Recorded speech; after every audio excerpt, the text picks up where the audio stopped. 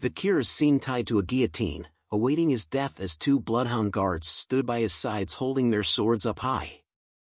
Vakir wore an expressionless face as he thinks about his final moments. But even in his final moments, his eyes were filled with an intense red glow as he stares at something in front of him. Hugo was standing proud and tall as the moonlight casts light on him, as a platoon of bloodhounds stood behind him. Hugo slowly raises his hand in the air while his eyes glowed bright red in the night. His eyes released an intense glow and glare as he pushes his hand in a downward motion. The sound of a sharp blade meeting flesh and bone was heard in the night as blood was seen splattered in the sky. Vakir's vision of Hugo and the others were now at a low viewpoint as everything started to look hazy. Blood soon filled his vision as he looks at the numerous red stares from his once former family members. Hugo slowly walks away from Vakir as his vision was almost filled with blood. But his eyes were still focused on Hugo's head as he left Vakir alone. Hugo so in the end you, muttered Vakir as his vision fades to black. Vakir then slowly opens his eyes after awakening from his dream. He stares at the ceiling and saw that he was in some sort of cottage. Bandages covered his face and body as he lay on a bed made of something while his neck was tied to a rope, he wonders what this place is. He thinks about how he didn't know how many days had passed, or how he had survived the battle against Madame Eight Legs. He recalls back to the moment when he had unleashed his most powerful attack on Madame Eight Leg, realizing that during that crucial moment, if Madame hadn't stopped in her tracks upon receiving a shock from the explosion's light, Vakir would have lost his life. Vakir slowly sits upright while holding his injured shoulder, he thinks about how his muscles veins, and even bones were all injured, there wasn't a place in his body where he felt uninjured. Vakir didn't think this would be the extent of his injuries after receiving a hit head-on. He realizes that he had misjudged Madam's attack power so bad that he could even feel it in his bones. Vakir then holds onto the rope around his neck, wondering if it was because of this that caused him to have a neck ache that he was feeling now after the battle against Madam, but it was because of it that he was saved. Vakir started to think about the others, and wondered if he could consider it as going according to plan. His plan of escaping Hugo's watch was a success as, besides Adolphe and Camus, many other witnesses could prove his death, allowing Vakir to not worry about his death being proven. Vakir exits the cottage tent and notices something. He sees barbarians of different ages and genders walking around he recognizes it as the Balak's camp called Bulak, and he wonders if he was being held captive in their camp. Vakir thinks about how he was in the midst of the camp that belongs to the natural enemies of the Baskerville clan, which was bad for him as he couldn't run away with his ruined body. A voice shouts out saying hurry up. Walk, just as a group of prisoners appeared behind Vakir with their hands bound together. A female barbarian was holding the rope attached to four of the men's necks as prisoners while shouting at them that if they don't move quickly they would die from the wolf's bite. Vakir watches them from a distance and was surprised as he recognizes their faces as people who were soldiers from the Baskerville and Morgue clans. He watches them leave thinking about why he was not being executed, a foot appears behind him saying that he was up. Vakir looks back and sees a punk rock hairstyle barbarian male asking him if he could speak Balak. Vakir recognizes the barbarian as Ahun, the barbarian holding the dart blower who tried to attack him from the bushes a few days ago. Ahun tells Vakir that he should be thankful that he wasn't going to end up with the same fate as the prisoners he had just seen. Ahun then smirks right in the face of Vakir's, asking him how he felt watching his comrades walk towards their death, and that he must be in despair since he could not do anything with that crippled body. With an evil smile on his face, Ahun tells Vakir that if he weren't the commander's pet dog, he would have boiled Vakir right away. Hearing the words pet dog triggered something deep within Vakir's soul. He visualizes Hugo's face with his hands filled with chains and a dark aura. The chains were slowly suffocating the Vakir as his body was slowly being covered by the chains and dark aura. Ahun suddenly felt an immense pressure wondering what it was he looks at the Vakir and sees that his eyes were filled with murderous intent and that his haki was extremely strong, One Piece reference. Ahun responded with a punch to Vakir's face calling him an arrogant bastard. The punch left Vakir on the ground trembling slightly as he didn't respond back. Ahun leaves him alone telling Vakir that he should stop standing there and go find his owner who was at the end of the rope. Vakir slowly got up and looked at Ahun walking away, His eyes were filled with revenge as he had memorized Ahun's face and swore to get his revenge once his body recovers. Vakir walks past a few more cottage tents in the camp. He slowly pulls onto the rope inch by inch as he made his way out of the camp wondering how the rope was this long. He walks a bit further but soon notices that he had walked quite a fair bit but still couldn't see the end of the rope, which causes him to wonder if his owner was actually at the end of the rope. All of a sudden the rope tightens itself. Vakir notices that the rope was being pulled in a certain direction. He sees that the end of the rope was leading into a pool of water, where Ayan was seen submerged inside. She was holding onto the end of the rope but remained silent. Vakir and Ayan were soon entering an awkward staring contest with one another, as the Vakir stood on land while Ayan was submerged in the waters. She gives him a wide smile before telling him to lie down. The Vakir was suddenly pulled forward by her, as his head was pulled forward by Ayan a certain object went through the spot where his head was originally. An arrow lands on a tree. Ayan came out of the water and shouted at a group of children calling them brats and telling them to go practice somewhere else. Meanwhile, Vakir was just laying on the ground motionless. Ayan then turns to him to thank him for setting her free at the slave auction. She points a finger at Vakir, telling him that she was the kind to return kindness twofold while returning tenfold when it comes to revenge, and since he had saved her once before, she had now saved him twice. Vakir wondered where the twice came from. She explains to him that she had gone back for him after his fight with Madame Eight Legs, and if she didn't do that he would have died, so he needed to be thankful that she was tenacious. Vakir then asks her if she was the one who had set up the rope attached to his neck but Ayan simply smiled at him as he asks her another question about the reason why she was keeping him alive. The rope tightens around his neck which catches Vakir's attention while Ayan informs him that she noticed that Vakir seemed to be in a high position within his party. While pulling his rope by, Ayan tells him how she wonders how much his party would pay for him. Vakir starts to grow nervous as he thought that he was in trouble, he knew that if the barbarians started hostage negotiations with the Baskerville clan, his original plan of escaping Hugo's watch would have become meaningless. He thinks deeply about what he should do in this situation. Ayan flashes a smile and chuckles. She asks Vakir about what he was thinking and if he had felt a sense of hope. But CK. Ayan tells Vakir that unfortunately, he wasn't going back to his party as she pulls him closer while slowly taking out a blade from her thick juicy thigh. She cuts the long rope while telling Vakir that he was going to be her slave, lucky man, but Vakir was actually glad to hear that. Ayan then points her blade towards Vakir telling him that they should decide on their titles first and that Vakir should call her master. Sorry lady but our hero ain't a beta is a goddamn alpha am I right viewers? But Vakir doesn't respond at all and just remains silent like a giga chad. Ayan laughs and tells him that she liked his rebellious eyes and that it would be fun taming him. Ayan then sheets her blade back into its cover on her thigh she looks forward and tells Vakir that before they get into the taming, they had to go somewhere else first. Vakir then asks her where they were going. Ayan smiles happily as the sunlight brightens her face, she tells Vakir that it was obvious. Vakir had to give his greetings when he stepped into someone else's land, a cottage tent is seen with skulls hung around and on top of it. An arrow is pierced through the thick skull of a dead crocodile. Ayan informs Vakir that they will be visiting the village head which is the matriarch, just as a fierce mommy-looking barbarian woman is seen sitting on top and around the dead bodies of animals who had their skulls pierced by a single arrow. Vakir and Ayan were now walking back through the camp of the Balaks together. Ayan explains to Vakir that if he didn't have a place to sleep, you could just sleep under friend's hammock, and if he was ever hungry, he could get food from someone who was more affluent, Ayan tells him that this was how the Balaks were living as.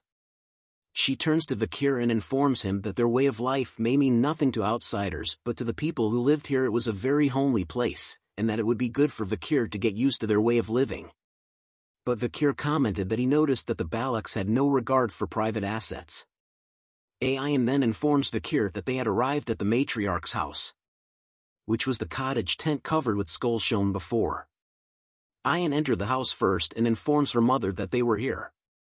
As Vakir entered the house he catches the word mother. Ayan's mother stood up saying you're here. She takes note that Ayan had brought back the empirical boy that she was talking about every day, Hearing this made Ayan fluster as she tells her mother that she didn't talk about Viakir every day. Vakir connected the dots in his head after seeing that Ayan was the matriarch's daughter of the Balak tribe. Which might be that her mother was the Night Fox.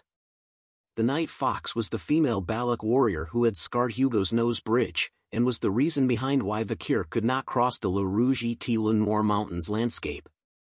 Vakir thinks about his past self and wondered what would happen to his past version if he had gone up against her he started to experiment in his head about his chances if he were to fight her in head-on combat which ended up in 0%. He then thought of his chances of winning if he went through the assassination route but realized that it was still at 0%. Vakir gulps nervously as a sweat drop drips down from his face after imaging those situations in his head. Seeing the Night Fox's intense deadly aura up close made him realize that if he had run away, his chances were only a mere 20% but the 20% would only be referring to his survival rate. The night fox takes a look at Vakir's face and tells him that he had seen his face before.